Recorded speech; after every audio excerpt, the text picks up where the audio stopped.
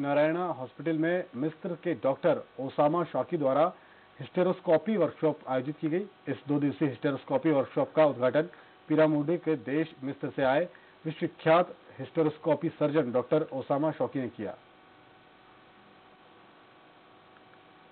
ये दो दिन का वर्कशॉप है लाइक कल पंद्रह और सोलह। और पंद्रह तारीख में वो थ्योरी क्लास भी लिए। उसके साथ आठ नौ केस भी हुआ प्रैक्टिकल सर्जरीज हुए। सब अटेंड किया है।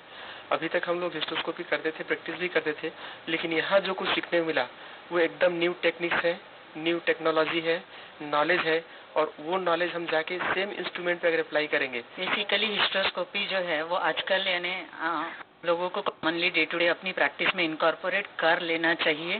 तो this workshop is about the diagnostic also की यानी जो बिगनर्स के लिए भी बहुत अच्छा है।